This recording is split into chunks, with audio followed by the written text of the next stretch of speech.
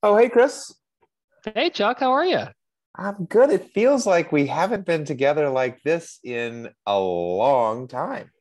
Yeah, we're back on Zoom and we have some more video to uh, to power our ever so popular YouTube feed. Um, you know, I think some of the comments are from bots, but uh, there are some really nice comments in there too. We'll read one of them later. I love it. Yep. Um, we have both been traveling a lot. And I, will tell you one thing which you may or may not have heard, which I think is pretty funny, although I don't have the details. We may have to report back to the pod. Um, you know, our, our residents did their annual roast.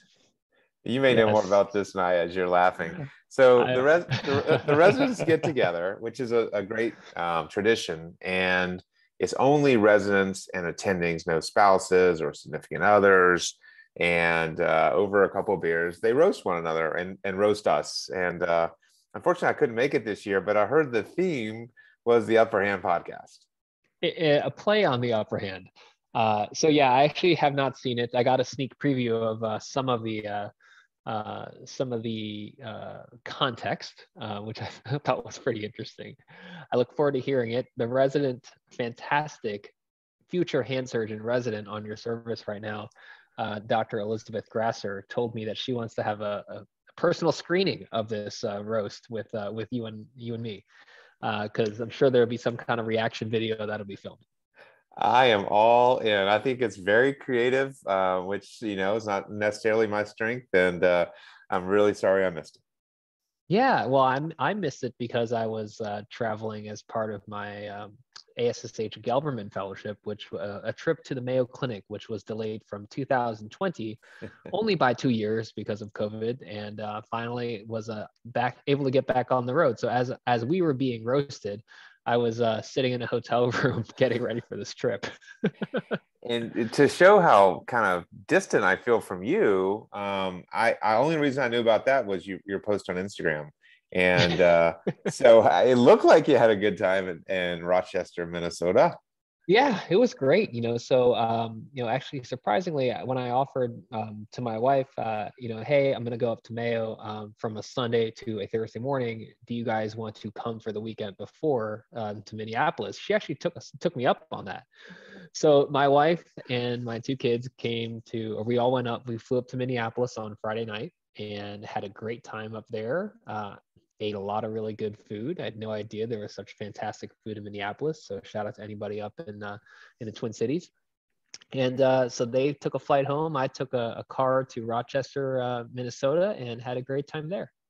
I love it. That is awesome. You guys are really good about uh, getting out there and not just uh, recovering on weekends. And you guys are really good. I, I admire how engaged you are and the travels you guys take as a family we're, we're trying uh, obviously it's been hard in the last couple of years to get out there so it's almost like just like a lot of people around the country it's this bolus of travel trying to get as much as you can in.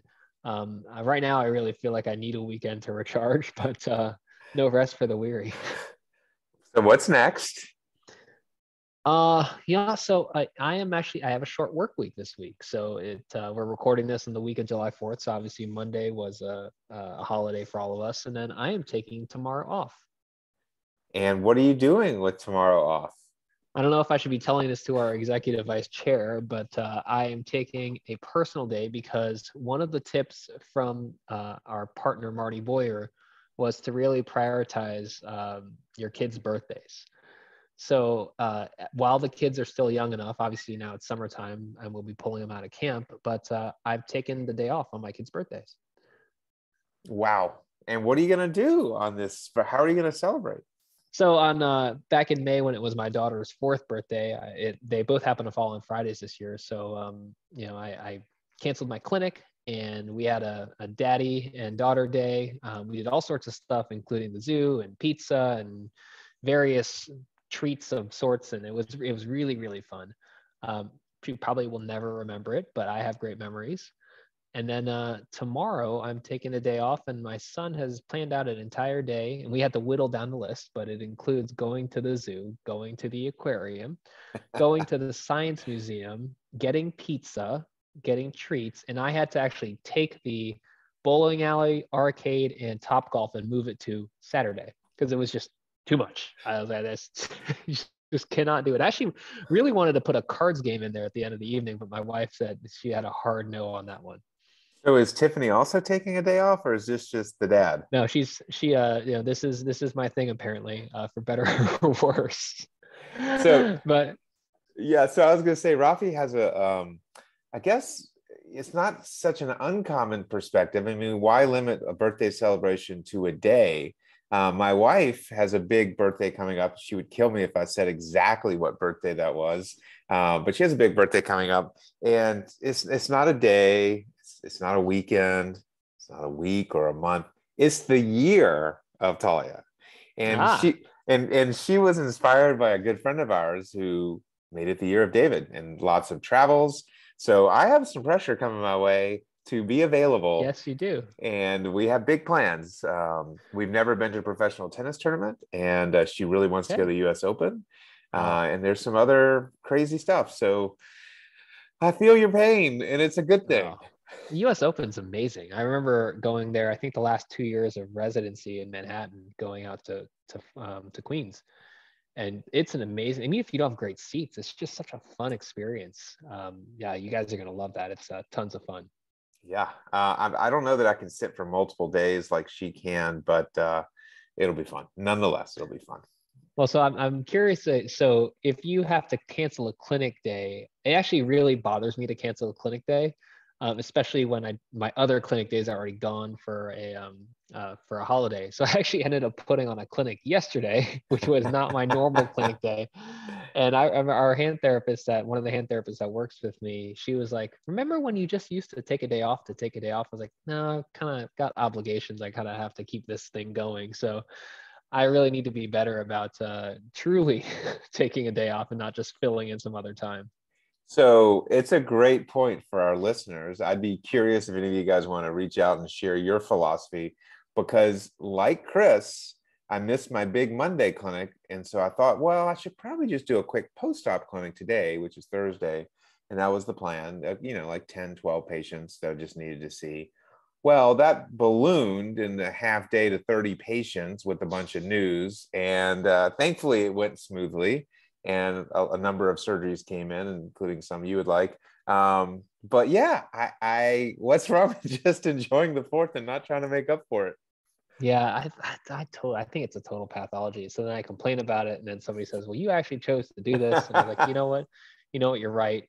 Um, I'm trying to jam a five day work week into three days, and uh, you know, it, it's it's busy, but that's okay. I did ask for it. Um, yeah, I'd be curious to um, to hear what other people do. Um, I was told, I think maybe by you, that um, you know it's much easier to cancel a day of cases because it's just less people, as opposed to when you're canceling clinic, and then obviously changing a clinic has implications on your practice building, et cetera. So when you're at my phase, and it's still, I think, pretty critical. Um, I, I, still like to have a clinic at least once a week uh, if I can, if I'm not out the entire week. Yeah, and and look, uh, one of the other wise things my wife has is that look, if you ask for something or you ask for a position, you know, she'll listen to me gripe occasionally or just you know whine, but uh, ultimately, it's you know we make our own choices. Exactly, exactly. So listeners are getting insight into uh, into who we are as people and, and, the decisions we make.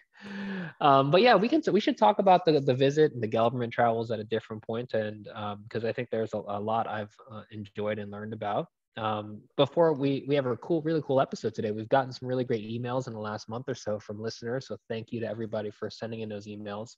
Um, before we get into you know mostly non-clinical topics, I was wondering, Chuck, if there's an interesting case you wanted to share, that might be a, a nice way to get started. Yeah, I did have an interesting case, and, and um, I want to just be a little vague about it, but had a very nice lady who several years ago I excised a, uh, a fibrous lesion from uh, the volar surface of the finger. It came back benign and it recurred and it was palpable nothing dramatic on clinical exam um, i didn't image it but what was interesting is it was volar it was adjacent to the flexor sheath originally but didn't really impact the sheath and when she came back you know it was recurrent in a similar location and she developed a significant swan neck deformity, um, such that uh, actually, um, I'm going to start that over.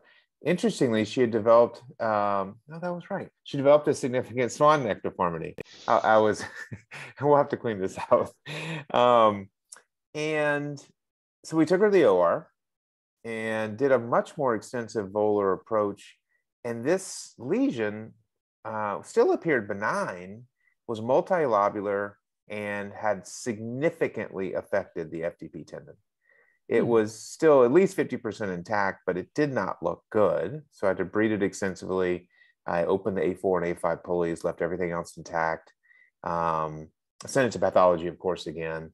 And then I went ahead and treated the uh, the swan neck deformity with a lateral band transfer, which is a procedure I love, uh, where one takes one of the lateral bands and brings it volar to the axis of rotation of the PIP joint uh, to help prevent that hyperextension of the PIP joint. And patients generally do really well with it. So it was just super interesting. And I, I haven't seen anything quite like this. I'm not it'll be interesting to see if the lateral band transfer helps the distal joint. I think it'll help the PIP joint, but some of this is just pathology related to the FDP tendon. So super interesting. Interesting. Two things, as you would say. Um, lateral band transfer, is that better performed awake? And how instantaneously do you see an improved um, uh, improvement in at least that PIJ hyperextension? I've never done it awake. It's often in a younger age group for me and sometimes CP patients. I haven't had trouble balancing it because part of the trick is in the OR, uh, achieving a resting posture and slight flexion with the ability to passively extend fully, but just a kind of spring back uh, mechanism. And then our therapy colleagues are key. And so I generally let them rest for a couple weeks and then at about two weeks, I put them in a dorsal block splint, like we might do for a PIP dislocation. And I block them in about 10 degrees of flexion. And when all is said and done, they end up between zero and 10 degrees. It's pretty reliable, but I, I like the way you think. And I think in the right patient, that would be a good choice, the local only. Do you think that um, the do you leave the DIP joint free in that dorsal blocking splint to allow that DIJ to cycle and hopefully get rid of that flexion posture at the DIJ and use those lateral bands almost like a because it sounds like you're recreating an oblique retinacular ligament or creating one because the ORL may or may not exist. Yeah, you're definitely that's exactly what you're doing because for those of you who aren't familiar with this mysterious anatomy of the ORL, uh, I've never seen one despite doing lots of anatomical dissections and an old school treatment for this was actually literally a tendon graft reconstruction. I don't think anybody, well, shouldn't say anybody, most people don't do that anymore. Um, I like the idea, and we do get the distal joint moving early. Yes, that's exactly right. Um, what's your second point, or maybe oh, yeah. that was it? So the second one is uh, how often do you image finger masses? Because this comes my way quite a bit, and if it for me, if it doesn't look like a classic you know, a retinacular cyst or a mucous type variant, uh, I have a low threshold to image uh, just because I don't like surprises and I think it helps in the counseling. I would I would estimate that I do fewer than you. I don't aggressively image, especially if it seems like I'm going to be performing an excisional biopsy. So, like you know, some are classic, and and neither of us would image. I don't tend to image if if the patient wants it out, um, and it doesn't seem alarming, and the, the, you know the presence of pain or rapid growth if those factors are lacking i tend to just perform an excisional biopsy. If i really just feel uncomfortable then i agree with you. Um, imaging would be helpful. In this case it was recurrence so i really wasn't necessarily worried about what it was. Uh, i don't think it would have changed my treatment um, so i don't think i missed an opportunity. Uh, but it's, it's again a fair point. and then when do you send a specimen for pathology? Um, the only time I don't is if I, it really, unless it's a ganglion cyst. Even for clear giant cell tumors of tendon sheath, I just think it's it's the right thing to do. I don't ever send ganglion cysts, um, but I, I I don't want to be caught without having done it. Do you have the same approach? Pretty much. If it's if you know if it isn't exactly what I expect it to be, which typically, you know, it's a um, ganglion type variant, I will send it.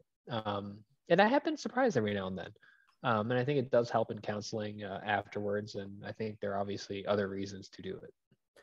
I want to share another quick story slash case. The case is not interesting, um, particularly, but one of our partners, and I will leave that person nameless, did a oh. carpal tunnel release, and that partner injected, and it was a wide awake, um, injected in the operating room, and immediately started cutting as the patient described to me. And she was okay, and you know, a little uncomfortable, and asked for a little more medication, and, and did fine. And she really wanted to get the second side done so i agreed to do it. And uh, did what i usually do which is what you do i believe which is in the pre-op holding area you inject a little lidocaine with epinephrine and then it's the wide awake local anesthetic no tourniquet. And she's like this is crazy. I don't feel anything this Refreshing. time you let the you, you let the numbing medicine set up was so funny. We were we were joking in the operating room. It was so funny. I'm like, all I care about is you have a better outcome on this side. right. Ex- exactly. For so many reasons. Uh, yeah. No, I think that the uh, the hard one of the hardest parts for me early on in setting up the uh, wide awake local anesthesia tourniquet program was just figuring out how to make it work to get out to the holding area to do blocks. I mean, so if you listen to the master Don Lalonde talk, it sounds like he gets everybody there, and I don't think he's doing a block. Uh, either his nurse or somebody else is doing a block, and they're all just sitting there blocked, like ten or twelve patients in a row. And I'm like, that sounds great. Uh, I don't have that, uh, and you know, I try to do my best to have our trainees kind of focus on the surgical part of things. So just like you, I'm like doing discharge orders, paperwork, etc., and then going out and putting on a face out in the holding area to you know get everybody ready for surgery. And sometimes that includes, and many times that includes doing the block. Yeah, it, it's same same problem here, and I usually have two or three local onlys each day. Uh, I, I have evolved, and this is a whole nother topic, but I have evolved. I push now for local only, for carpal tunnels, for triggers. Uh, those are the two that I really push on. I, I, I discuss it occasionally with other things, but those two I push, and I did not used to push. I used to accept if they wanted that. Yeah, I mean, I think that uh, it's all about how you frame it, right? So the anchoring bias. But I mean, I tell them I do this surgery under local, um, and that's that's the default. Now I know there are some surgeons who say I only do it under local, and I'm going to send you to somebody else if you want it done under sedation, which maybe because they do it office based, which obviously would make a difference.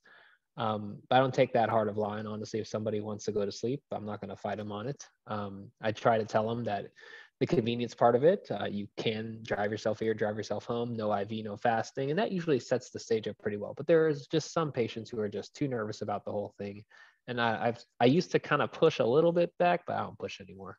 No, me either. Hey, Chris, did you notice my shirt? Oh, is that a wow? It's been a long time. I feel like the you know you're wearing your Golden State Warrior shirt, and I feel like the NBA finals were a long, long time ago never stops. Summer league's on and it's great. But I had the, I, I feel like, I, I, don't know whether I should share this or not, but hey, this is the Upper Hand podcast. I got to.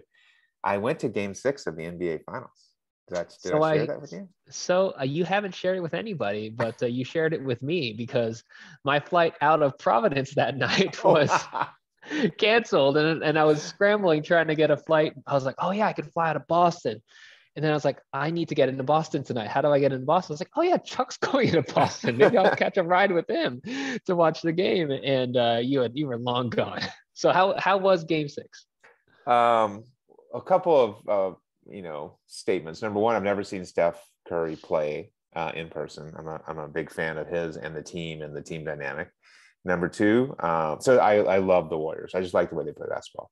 I grew up a Celtic fan. Now that's a little weird growing up in Alabama, but my uncle was a Celtics fan and there was not much professional basketball in Alabama.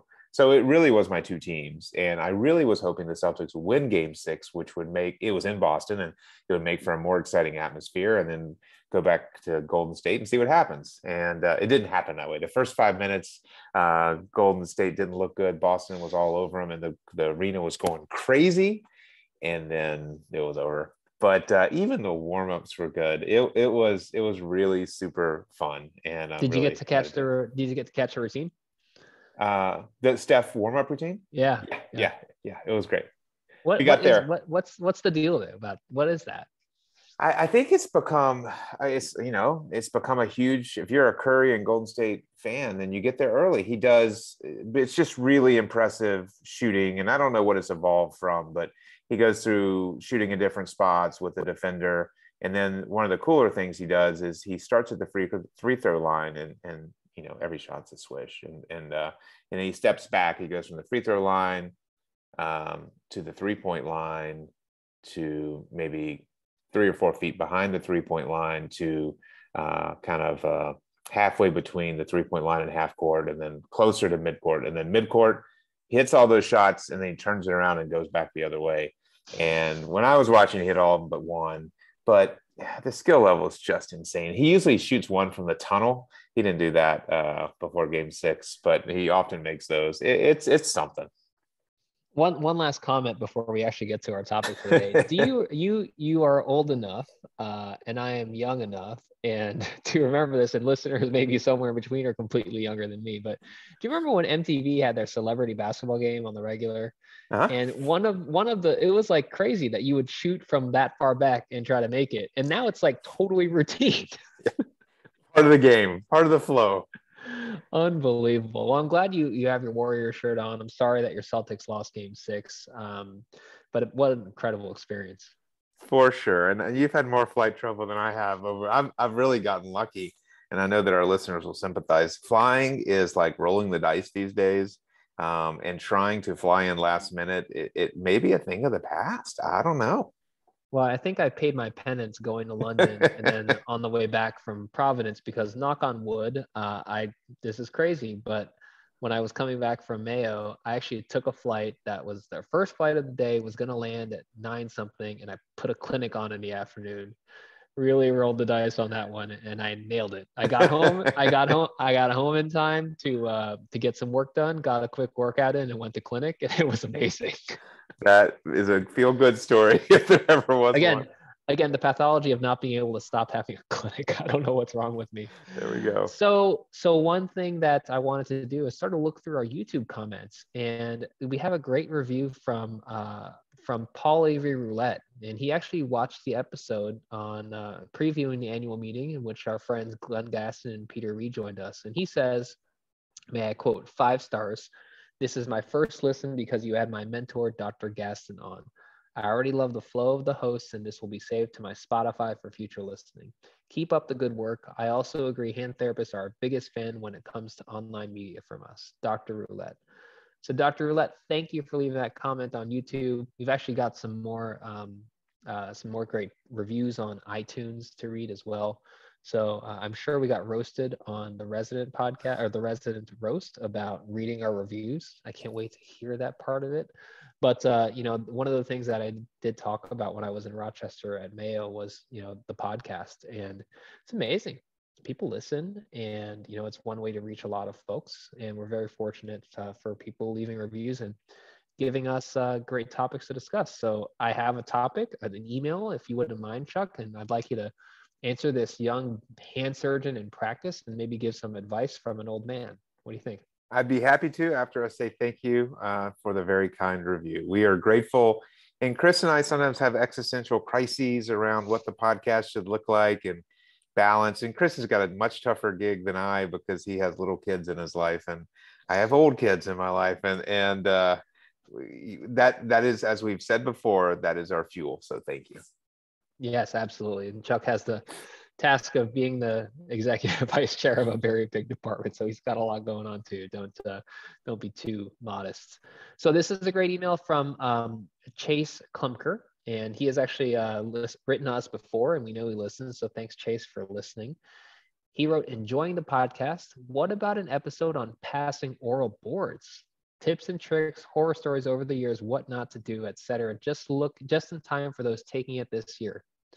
Well, it looks like that's actually around the corner, and this episode's going to drop just a week or two before the oral boards. Wow, we should thank you, Chase, and we should have come up with that one. I was actually uh, reviewing a few cases with a former fellow. Uh, you might have done the same, and uh, it's a skill set. You know, I uh, I've actually never examined because traditionally I go to New Hampshire uh, the last week, around the last week of July, um, I think it's probably in my future because it sounds super fun. Uh, but there's absolutely a skill set, and I do think there's some tips that you and I can go back and forth on. Does that does that sound okay?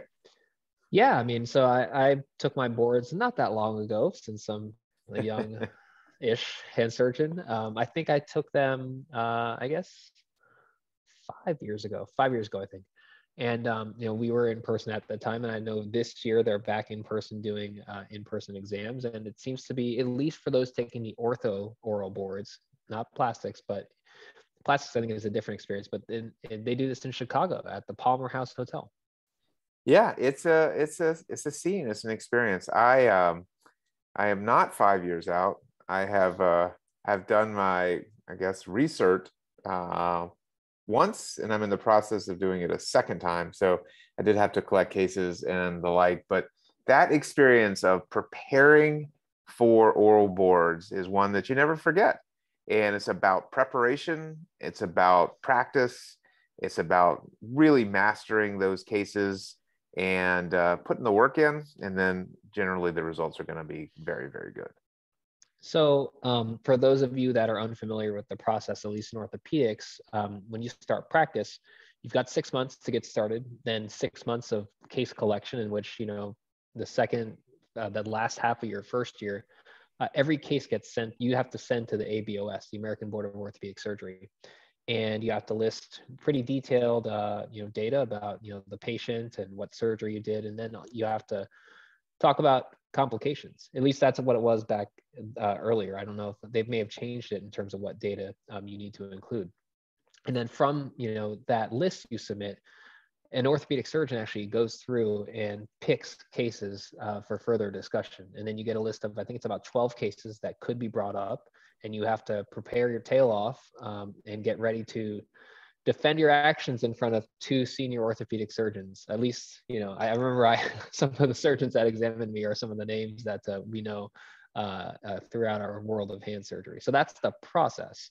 Um, one thing that I think, you know, this isn't going to help those sitting for the boards in the next couple of weeks, but your data collection process needs to be set from the first few months of your practice, if not from day one of your practice, um, because you need to be ready to roll when it's actually time to send the data in. Yeah, for sure, for sure. And, and again, careful preparation and I don't know the exact format today. You know, I had notebooks for each case. I don't think that's the current. It's more electronic uh, today, but uh, yeah, you have to be prepared. You have to have all the data there. You have to look like you own the material, and that's the first step. If you look like you were sloppy with your preparation, you're behind the eight ball before it even starts. Yeah, those sharks can smell blood. It's uh, it's pretty obvious. Um, you know, so you you mentioned uh, going through cases with a former fellow. Um, I actually think I um, I'll be doing the same thing with that fellow in a, a couple of days, and you know, it's um, it's important to engage with your mentors from fellowship from training, um, because oftentimes not only do you get the practice, you can blame a lot of stuff on them how they taught you. well, that's one of the pearls for sure. Um, yeah, this is, you can prepare on your own and you can do just fine. But if you can run through cases with a mentor who has some skill with, you know, pimping and and really tracking down the issues, identifying the issues and tracking them down with you, it's there's a lot of value. So let, let's let's start there. Let's come up with I don't know five pearls so the first pearl is don't be afraid to, of course, you want to cite the literature to defend your actions or defend your choices. But you know, some of what we do is level five evidence, meaning it's expert opinion. And if you trained mm-hmm. with experts, you should feel comfortable saying, here is why I chose this course of action. And then and then add, you know, I trained at Washington University and the attendings there appreciated this approach. Now, you don't want to be arrogant about that, and you don't want to throw right. that in anyone's face, but it is a reasonable explanation if it can be defended in fact and in principle. Yeah, I absolutely agree with that. I mean, I think all of us rely on a lot of what we do is not necessarily based on the highest level evidence, and a lot of what we do is how we were taught for better or worse and you know as long as you can um, cite that in a you know thoughtful and gracious way I think you're ahead of the game. And like you said, you want to be able to have a command of the literature, but you also don't want to throw that in people's face and come across come across as professorial, um, because again, that doesn't come across the right way. Um, you know, so I, I think that is an important one to uh, um, to mention for sure. Yeah, I think the second one, I'll just build on what you said, is humility. You know, you are going to have, and they don't always pick your cases with complications, but it's not just the cases you're defending which require that we be humble. You know, medicine requires that we be humble because just when you're patting yourself on the back and thinking you're so great, you're guaranteed to get a complication or a challenging patient. But just the way you interact with questions and answers, and uh, you know, admitting that you do not have all the answers, and mm-hmm. perhaps you should have considered a different track uh, or different course. Uh, you know, that's that's really important because the examiners do not want to see arrogance and a refusal to accept that there is a different way that might have achieved a different outcome. Absolutely. Completely agree with that. I think one pearl I would have is to be self critical, but don't bash yourself. Um, you need to have really thought about what you could do differently, but you also, you know, need, you need to own up to any mistakes that you made. Think about, you know, how would I have done this differently, even for cases that went well. Um, always think about that. I mean, and yes, of course, during board collection and, and during your oral boards, you're going to be um, at the peak of that. But that's still something where every case that doesn't go exactly how I wanted to, uh, and I, I do this as a teaching exercise too at the end of the case with our trainees. I'm like, how could that have gone better? Um, even today, just thinking about cases, how could that have flowed better? Um, so I think being able to, you know, if somebody asks you at the end what you learned from that case, um, having some good pearls um, when you uh, when you get ready for your boards for each case. I think that's really well said. I mean, our the practice of medicine is just that, and not to get too you know philosophical, but every day is a learning opportunity for us. And if you're not trying to engage in that learning process, then you're missing an opportunity, and that can be reflected in the boards. The other, the, the next pearl I would say is you know, as you're preparing, so f- for example, there was a, a teenager with a uh, distal radius fracture, which was displaced a bit, treated in a cast. The patient came back three weeks later and it was markedly displaced. And just the simplest little uh, decision points may not be ones that you are thinking about as an as a someone who's about to take the test or, or present. And so, you know, the fellow chose to go volar and that is perfectly appropriate. But I asked why I didn't go dorsal. And we got into a nice discussion about pros and cons. And that is a very simple example. But as you're preparing for the test, you know, the decisions that seem obvious to you might be different than the decision making process for the examiner. So you have to be prepared to A, defend your choice, and B, understand why someone might do it differently. And that's part of test taking skills. Right, absolutely. And I'd like to think that, you know, all I know are the two training programs I did for my residency and fellowship, and I, at least those programs prepared me for the verbal sparring. That um, sparring is probably not the right word, but I mean, you know, that eh. exercise of like thinking like somebody coming at you in conference and in a nice way. Well, not always nice, but being able to defend your actions and think on your feet. And I think that you know we talk about generational differences. I admit that we are gentler in conference than we used to be and i don't know if that's a good thing or a bad thing because maybe then you come across a board examiner who may not be as gentle. Now maybe they're being instructed to be gentle though. I don't know. Yeah. but you know it may not come across that way And you need to be ready to think under stress. Yeah that's really really well said. And what do we do when we stress? Most of us tend to just talk right? If I get stressed, and maybe if I'm stressed because I don't know the answer, if they ask me to cite the literature and I'm not sure, most of us respond by babbling. And that's on the ward, or that's in the OR, or that's during a test. And so that was one of the pearls I gave to our former fellow, which is don't over talk because all you do when you over answer or try to add additional information is you give the examiner another line of questioning and you may not have said exactly what you wanted to say. And so you want to answer questions directly. You want to give uh, substance and you want to cite when it's appropriate, but answer the question and stop. There's no right. crime, and silence is not a crime. Right. Well, I mean, it's it's not a deposition, but you almost have to treat it like a deposition. And most people who are in board oral boards probably haven't done many depos, but you know that's the way to do it. Think about it like fracture conference. Like in most places, fracture conference was usually the way um, that type of questioning. And uh, you know you have you don't don't give them any more than they need to have. They have plenty of fodder. Don't don't give them any more. So one additional pearl that we've kind of mentioned, um, but practice. Like you know, practice everything be ready to you know have your x-rays up like it's in a powerpoint like they're going to essentially have a powerpoint type program in the exam room. You'll have to work through your images practice presenting the case practice presenting the image. Practice it on your own practice it with other people that are taking the boards that year and then practice it with your mentors. I remember sitting in your dining room, which I still cannot sit in your dining room because there's too many memories of um, prior prior uh, educational experiences, to put it nicely, uh, sitting across the table from you and Marty and going through all of my cases. Um, and that was an incredibly helpful experience to me because I knew if anybody could bring out lines of questioning that were out of left field and obviously appropriate and inappropriate, it would be the two of you.